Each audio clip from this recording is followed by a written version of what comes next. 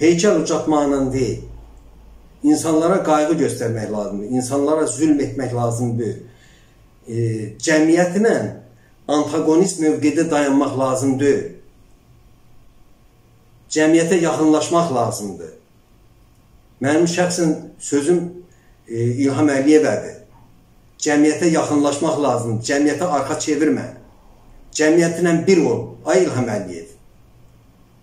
Bax, onda sənin adın tarixdə qızıl hərflərlə yazılar. Dəyərli izləyicilər, Kanal 30 efirindən sizləri salamlayıram. Efirdə mən Şamimin sizinləyəm.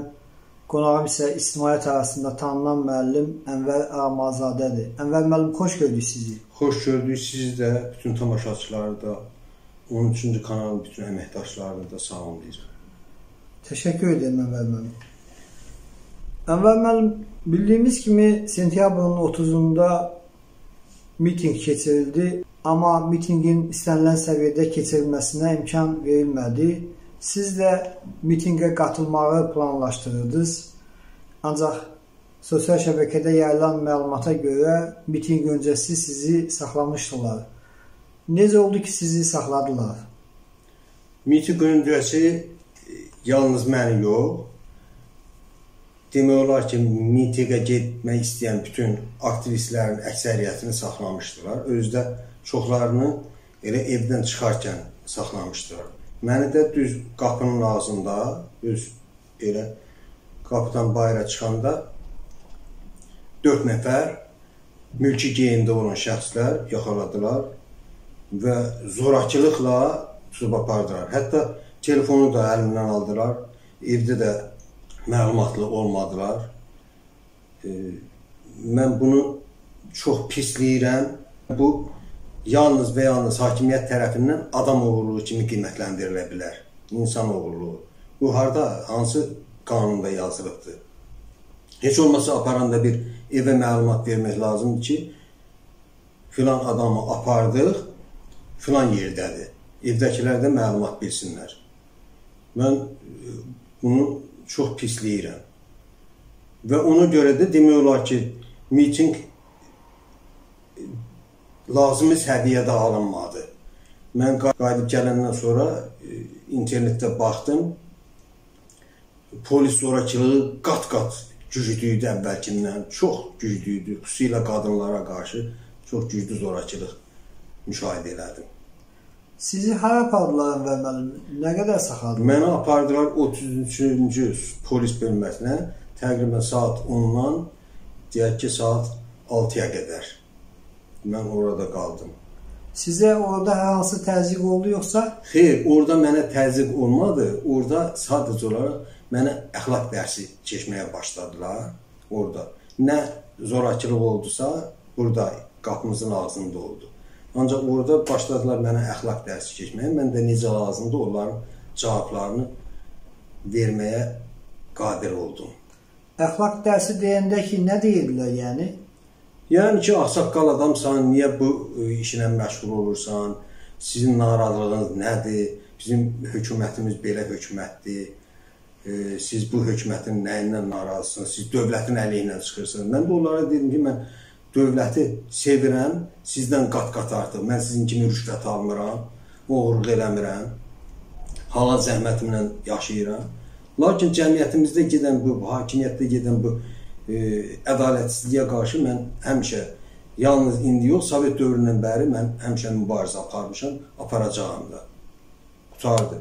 Və onlar da e, gördülər ki, məndən e, bacara bilmirlər. Axırı təslim olmağa məcbur oldular. Bax belə. Mən məsələn onları elə dilemma qarşısına qoydum ki, bax dedim, bax görürsünüz, bax o başınızın üstündə asılan şəkillər var. Biri sağda, biri solda. Bax, o şəkilləri niyə asmısınız? Çünki siz yaltaqsınız. Niyə sizin, e, üzr istəyirəm, belə oturmuşsunuz o kabinetdə və belə yayla yayla, məsələn, hansı qüvvə ilə, hansı səbəbə gəlib oturmuşsunuz burada? Çünki siz rüşvət alırsınız. Onlar da etiraf elədilər ki, bəli, biz rüşvət alırıq. Etiraf elədilər. Amma e, güya ki, bu rüşvətin azlığı ilə e, özlərinə haqq qazandırmaq istədilər Mən də dedim ki, o aldığınız rüşvət rüşvət deyil, o dilənçilikdir. Bax belə. Hakimiyyətdən deyirsiniz narazısınız. Ancaq ə, e, bəzi insanlar sosial şəbəkədə hakimiyyətin islahatlar apardığını qeyd edir, müəyyən sahələrdə inkişafın olduğunu deyirlər. Siz e, yəni bu gedişatda heç bir müsbət nəsə görmürsüz? Mən demək olar ki, heç bir müsbət nəticə görmürəm. Müsbət nəticə nə ilə ölçülür? Müsbət nəticə birinci daxili siyasətlə ölçülür. Əgər daxildə, ölkə daxilində insanlar acınacaqlı səviyyədə yaşayırlarsa, o belə bir məsəl var, deyir, əvvəl məscidin içi, sonra çölü. Əgər insanlar acınacaqlı səviyyədə yaşayırsa, burada hakimiyyətin, xüsusilə İlham Əliyevin hansı müsbət cəhətlərindən danışmaq olar? Xarici siyasətə gələndə, xarici siyasətdə yalnız mən sizə deyim ki, xarici siyasətdə hansı müsbət dəyişikliklər var? Hansı müsbət dəyişikliklər? Mən bu müsbət dəyişiklikləri heç vaxt sözün açığı görmürəm. Bax belədir. Hansı müsbət cəhətlərini göstərək? Deyəsən niyə görmürsən? Xarici siyasətdə niyə görmürsən? Bax, bu müsbət cəhətləri niyə görmürsən? Ona görə görmürəm ki, xarici siyasətdə birinci növbədə, birinci növbədə İlham Əliyev o 10 noyabr sazişində, bəyanatında, müqaviləsində deyək, o ki imzaladı, o ki sənədləri 3 nəfər imzaladı, gecə ilə saat 3-də imzaladı. Həmin imza xarici siyasətin ən mənfur, ən belə mənfi hissəsi idi ki, onu o elədi. Nəyə görə elədi? Görürsünüz, onunla elə ruslar nə, nə vaxta qədər ki, bizim yanımızda var, bax bu sonradan məsələn 80 şəhidimiz oldu. Allah rəhmət eləsin şəhidlərimizə. Allah rəhmət eləsin. O 80 şəhidlər demək olar ki, heç nədən getdi. Nəyə görə getməlidir? Onların hamısı Rus siyasətinin nəticəsi idi.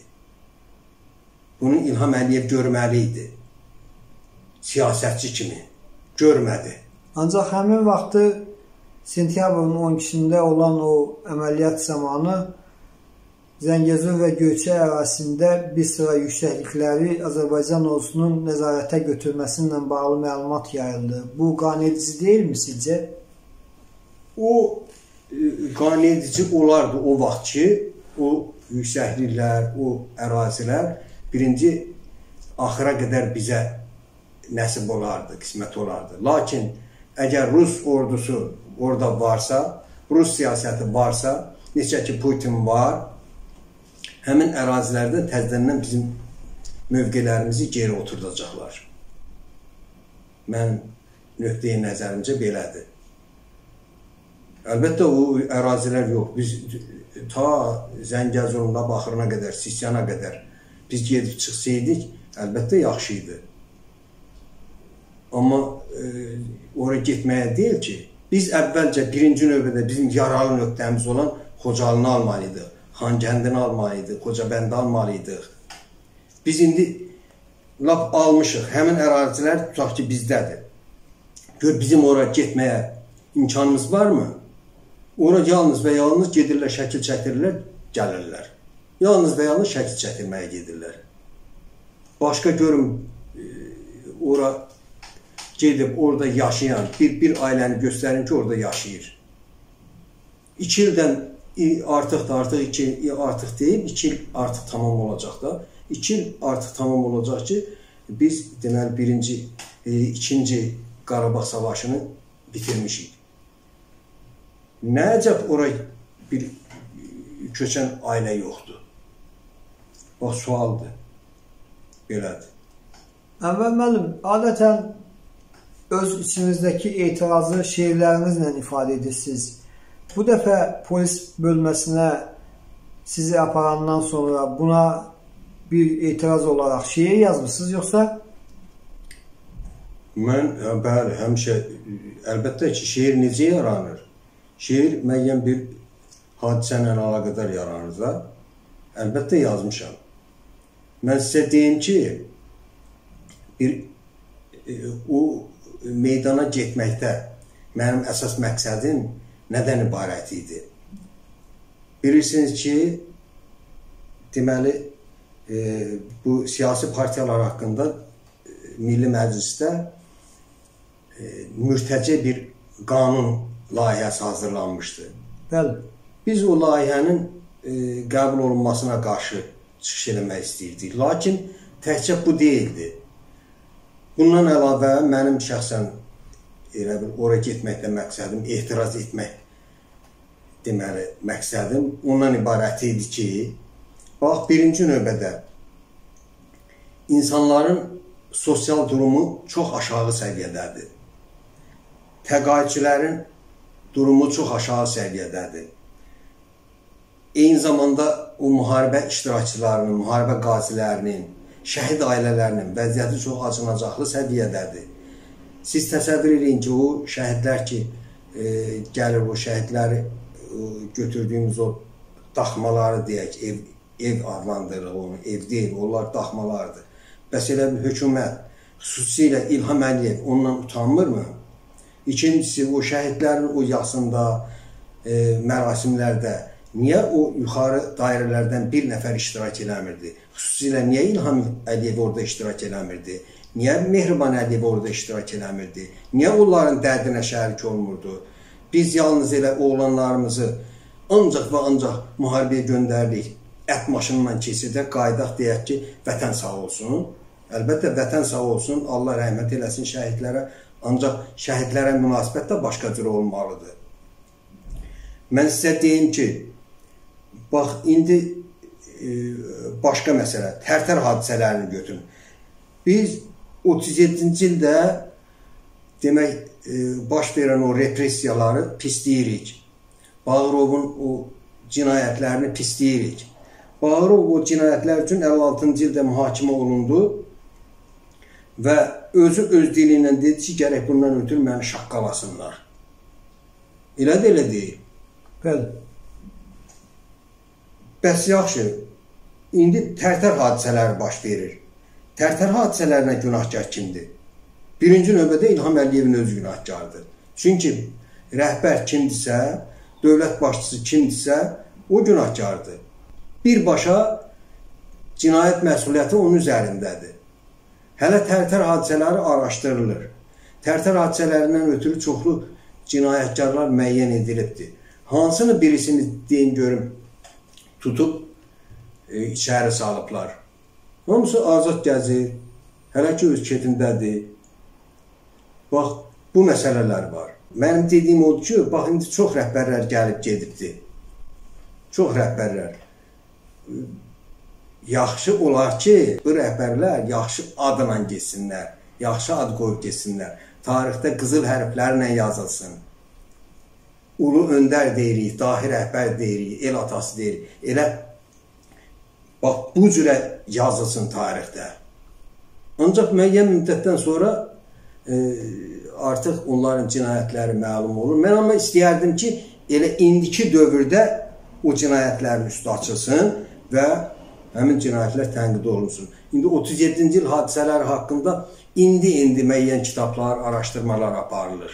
Müəyyən şairlər haqqında, yazıçılar haqqında, onlar haqqında məsələn fikirlər söylənir ki, onlar məsələn tutaq ki, satqın olublar. Tutaq ki, müəyyən öz şair yoldaşlarını, yazıçıları e, tənqid ediblər. Olmazmı ki, 37-ci il haqqında indi yox, elə o vaxtı yazardılar. Və indiki hadisələr haqqında da indi yazmalıdırlar. Bəli, mən e, dediyim kimi o polis bölməsində olanda bir cızmaqara elədim. İndi icazə versəniz, həmin cızmaqaradan hissəni sizin nəzərinizə çatdıraram. Buyurun əvvəllə. Çox rəhbərlər gəlib gedib zaman-zaman. Nə aparıb özləri ilə bu dünyadan yaxşı, yaman, nə qədər cin cəfərləri, mələk donlu öndərləri, atasından betərləri rəhbər sırayıblar bizə. Cəllad olub ömrümüzə. millət qanı soranları, oğru, quldur, harınları, haça dilli ilanları, tiranları, klanları, rəhbər sırayıblar bizə. Cəllad olub ömrümüzə. Hakimiyyətə hərisləri, siyasətbaz iblisləri, namərdləri, naqisləri, xəbisləri rəhbər sırayıblar bizə. Cəllad olub ömrümüzə. Cəllad olub ömrümüzə. Məddahlara olmuş hər an geniş meydan. Çoxaldıqca rəhbərlərə şeir yazan, mahnı yazan, kitab yazan, yuxu yozan, pozulubdur haqq ədalət, ölçü, mizan. Xəyalımız ömür boyu dürüst rəhbər sorağında. Rəhbərlərsə öz kürsüsü, öz sərbəti, eyş işrəti marağında, öz kefində, damağında. Rəhbərləri yerli yersiz öyə-öyə, el atası, ulu öndər, dahi rəhbər deyə-deyə, dərdimizi içimizdə yeyə-yeyə, əl çalmışıq yalanlara, hayaküyə. Dönürüksə hansı səmtə, hansı yana, rəhbərlərin şəkilləri, muzey, məktəb, kitabxana, rəhbərlərin şəkilləri, məmurların otağında,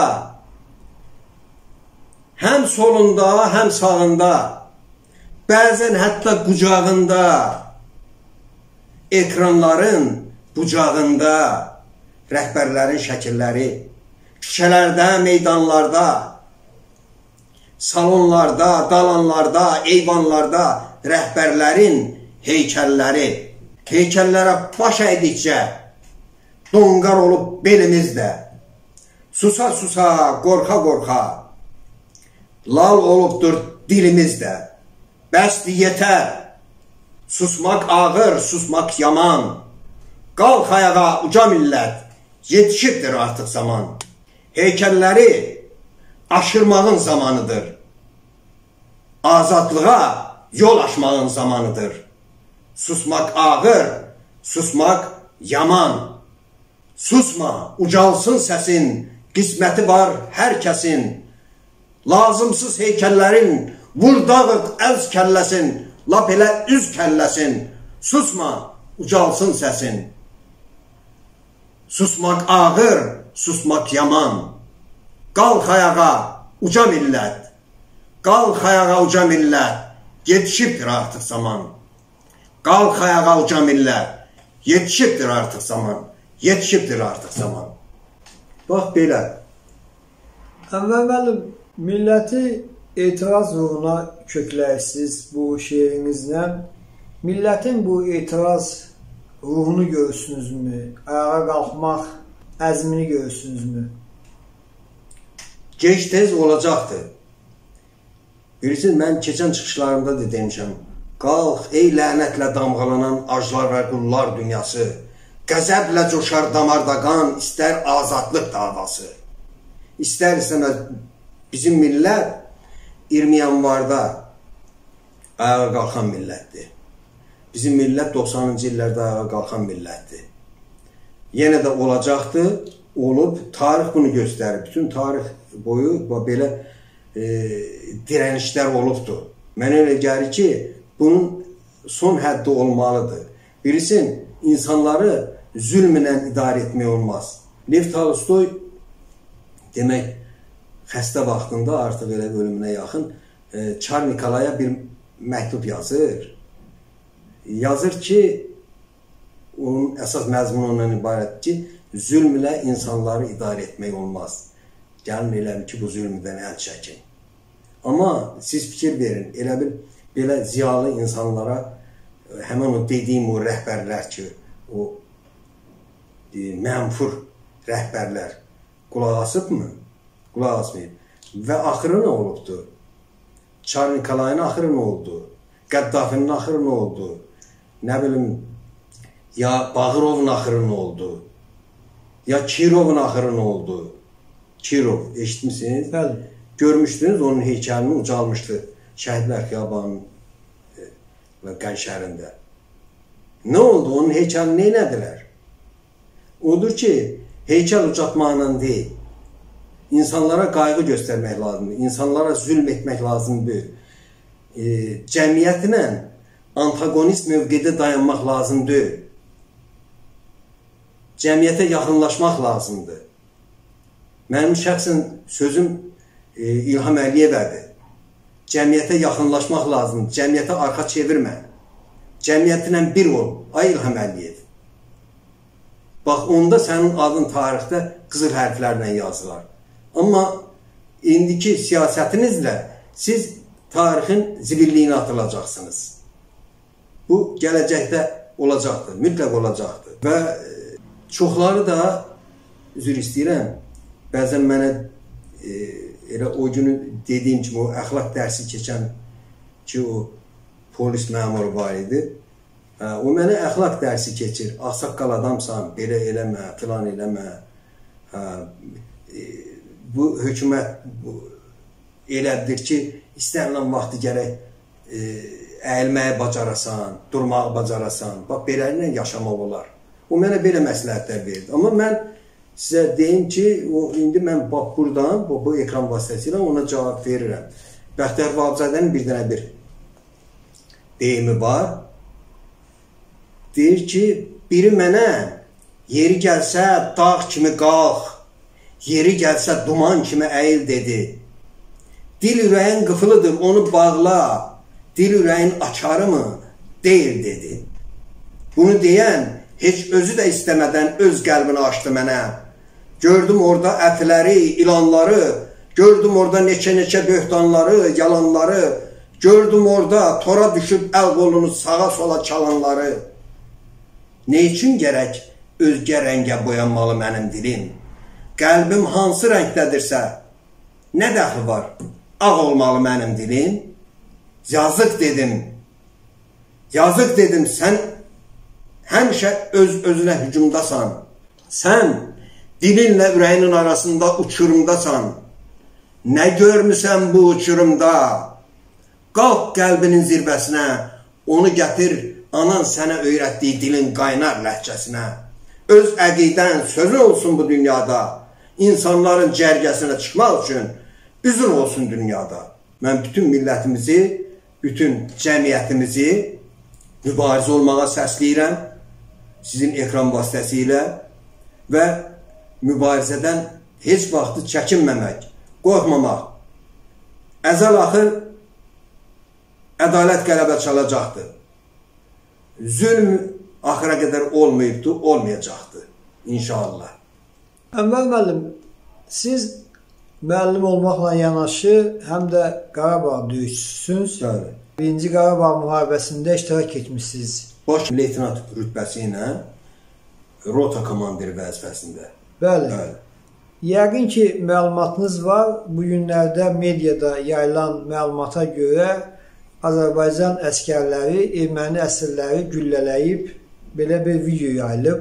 Bəli. Keçmiş döyüşçü olaraq bu məsələyə münasibətiniz necədir? Azərbaycan əskəri əsirlərin güllələnməsinə sosial şəbəkədə fərqli yanaşmalar var. Bəzi insanlar bunu doğru hesab etmirlər. Sizin münasibətiniz necədir? Mən sizə deyim ki, e, başqa e, görüntülər də var. Niyə onu qabardırlar? Onu qabardırlar.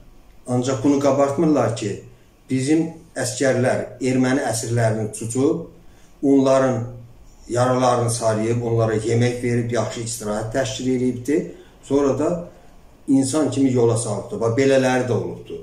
Amma indi mən sizə bir şey deyim də, ermənilərin bizə qarşı etdiyi elə zülmlər var ki, Həmin o əskərlər o ruhda olublar. O ruhda. Çünki elə əskərlər var ki, məsələn, onun tutaq ki, atasını öldürüblər, faciəvi şəkildə öldürüblər, ermənilər öldürübdür və yaxud da uşaqlarımızı o e, durbanın içinə qoyub o tərəfdən bu tərəfdən sıvarqalayıblar, bu sözləri eşidiblər, bizim əskərlərimiz eşidiblər. Mən e, buna ümumiyyətlə müsbət mövqedən yanaşıram. Müsbət mövqedən. Bəli. Ənvər müəllim, bir vətənpərvər insan olaraq İranda baş verən münasibətlərə də mövqeyiniz maraqlıdır. Bilirsiniz ki, son günlər İranda əhali ayaqdadır.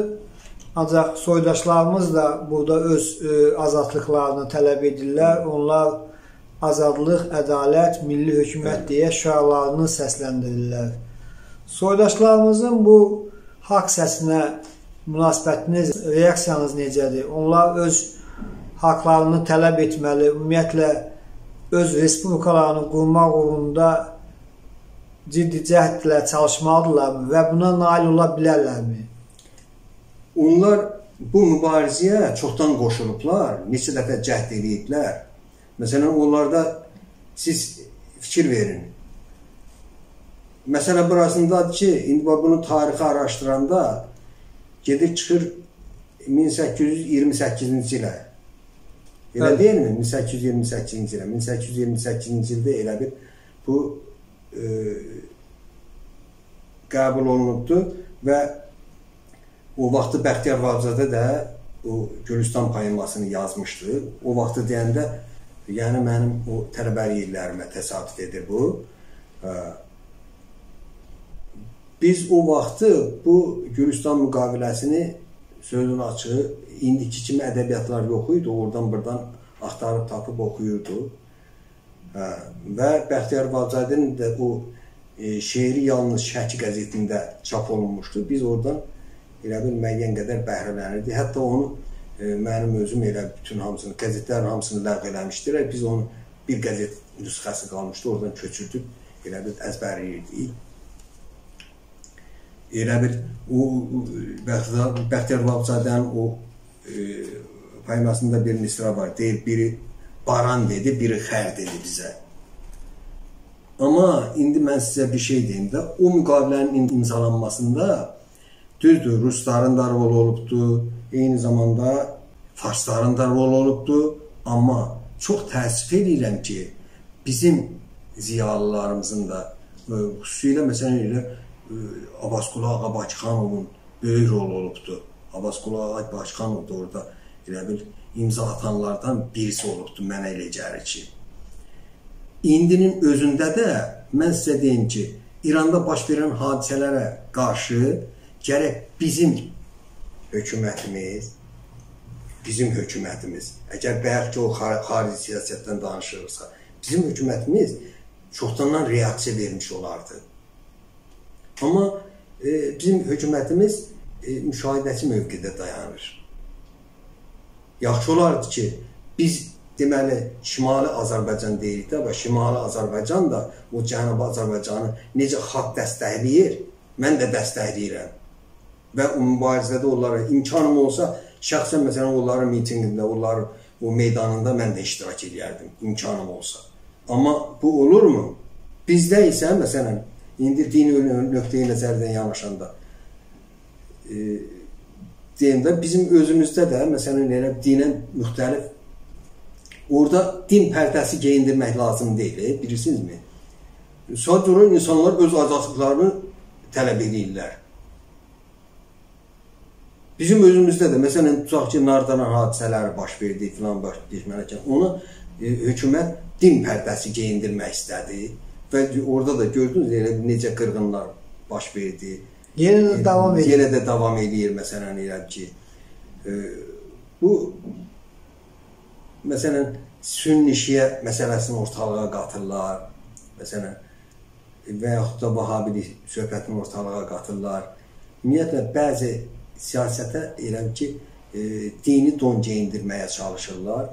Ancaq mənə elə gəlir ki, bu olmamalıdır. O hələ o vaxtı Mirzə Ələbər Sabirin dövründə də bilirsiniz ki, Mirzə Ələbər Sabiri elə bir bu Babi adlandırırdılar, axundlar, mollalar. Deyirdilər sən e, biri deyirdi sünnisən, biri şiəsən, biri deyirdi sufisən, biri deyirdi babisən. Babi dinsiz deməkdir. Amma o vaxtı o bütün Mirzə Rəhbər Sabiri adi sabun satmaqdan da elə ki, e, imkanlarını məhdudlaşdırdılar. Qoymadılar o yazıq elə sabun satmaqla, sabun bişirməklə məşğul idi. Onda o Mirzə Rəhbər Sabir yazırdı ki, deyirdi ki, Əşhədi billahi əli ləzin sahibi imanən aşirvanlarlar. Yox, daha başqa dinə yəqinim mənim. Əhl-i Quranam. A, Şirvanlılar. Deyirdi, Şiyəyəm. Amma nə bu əşkalidən? Yəni, Şiyəyəm, amma sizin şəkildə olan əşkali şəkil deməkdir. Sizin şəkildə olan e, şiyələrdən deyiləm. Sünniyəm, amma nə bu əmsalidən? Yəni sizin yenə də sizin əmsalda olan, sizin donda olan, sizin əqidədə olan sünnilərdən deyirəm. Sufiyəm, amma nə bu əbdalidən? Əbdal da dərviş deməkdir. Yəni sizin kimi elə bir e, dərviş sufilərdən deyiləm. Fərqi nədir ki, mən müsəlmanam, əhli Quranam. Bizim hamımız, üzr istəyirəm, əgər dinə qalsa, hamımız e, Əhl-i Qurana inanırıq, onu konstitusiya kimi qəbul eləmişik və e, Şiə olsun, Sünni olsun, Vahabi olsun, kim olur olsun, biz bu dinə qulluq edirik. Bütün bu siyasətlərə də dini don geyindirmək mənim əqidəmə ziddir, bir sözlə. Və o İranda olan hadisələri də dəstəkləyirəm. İndiyə qədər məsələn ötəramızdır. Nəyə görə elədir ki, e, qadın həmişə elə qaranlıq, günəşə baxmamalıdır? Özünü niyə gizlətməlidir? Bundan ötürü də qadınlar, məsələn, tutaq ki, e, meydana çıxıbdır. Eləcə də indiyə qədər hələ o Cənubi Azərbaycanda məsələn onlar öz dillərində məktəbləri, öz dillərində. Məsələn orada ermənilər var. Erməni məktəbləri e, nə qədər. Orada məsələn 40 milyondan artıq Azərbaycanlı var. Onların elə öz dilində yox. danışmağa, öz e, məktəbləri, öz mədəniyyət evləri yoxdur. Amma buna baxmayaraq amma halal olsun. Məsələn tutaq ki, bax saz deyirsən indi öz aramızdır. Saz orada elə bax necə Şimali Azərbaycanda olduğu kimi, yəni bu, bu Azərbaycanda, bu tay Azərbaycanda olduğu kimi, o tay Azərbaycanda da məsələn saz sənəti çox geniş fürsət alır. Muğam sənəti, muğam. Məsələn, orada elə muğam oxuyanlar var ki, məsələn elə ki, buradakılarla elə bir yarışa girə bilər, eləcə də saz və s. Yəni ki, böyük şeydir ki, onlar öz mədəniyyətlərini, öz dillərini qoruyub saxlayıblar. Onlara bu mübarizədə müvəffəqiyyətlər arzulayıram. Amma neyinin ki, uzaqdır, əlimiz çatmır. Amma Səməd Urunun da bir belə bir beyti var ki, deyir, gözüm gözünüzdən uzaq olsa da, könüldən könülə yollar görünür. İndi inşallah çox arzulayardım ki, o Azərbaycanla bu Azərbaycan elə ki, birləşərdi. Onların bu ədalətli mübarizədə onlar qələbə çalardı inşallah. Və mənə elə gəlir ki, qələbə çalacaqlar inşallah. Çox sağ olun Ənvər müəllim, təşəkkür edirəm. Sağ olun, mən də sizə də təşəkkür edirəm. Bütün bizim dinləyicilərimizə də təşəkkür edirəm və bir daha xudahafiz. Sağ olun.